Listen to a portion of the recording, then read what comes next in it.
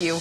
Well, whether you call it soda or pop, everyone enjoys drinking a sweet fizzy drink. But sorry, Coke lovers, we're talking about Pepsi, more specifically the history of the Fort Wayne Pepsi bottlers plant on Harrison Street. Take a look.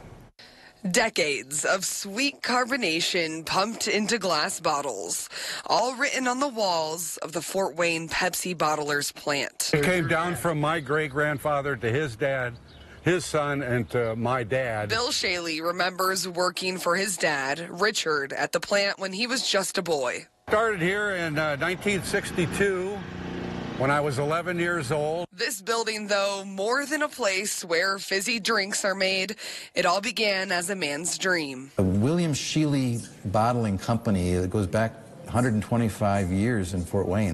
John Beatty helped me track the Pepsi bottler's history. He works at the Allen County Public Library's Genealogy Center. 130 years ago, in 1893, a man named Nicholas Steinhauser began a mineral water bottling factory out of his home on Miner Street in Fort Wayne. They pumped water out of a pump carried it by buckets by hand into a wash tub inside, and then they carbonated it.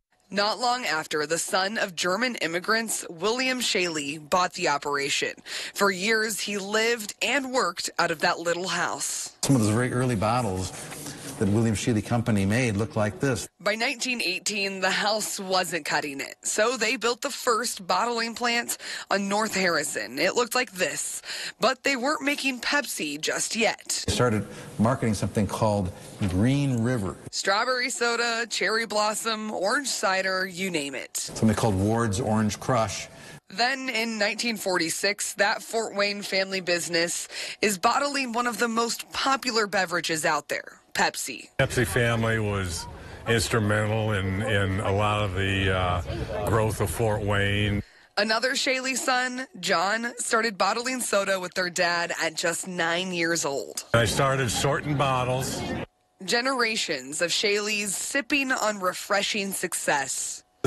Four generations of Pepsi. And that brings us to now. The city acquired the plant. They're tearing it down for the next phase of the riverfront development. And just like that, a family business comes to an end. It stood for a lot in Fort Wayne. The Shaley family did get their chance to say goodbye and walk through the building one last time. It's bittersweet going back, going back through this.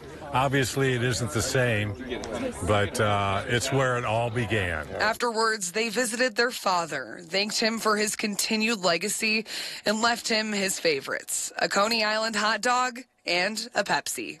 For 21 Alive News, I'm Carly Van Cleve. And I did reach out to city leaders to try and get a better understanding of what their plans are for that location on the riverfront. They tell me nothing is set in stone just yet, but they are looking forward to moving on with this phase of the riverfront development project.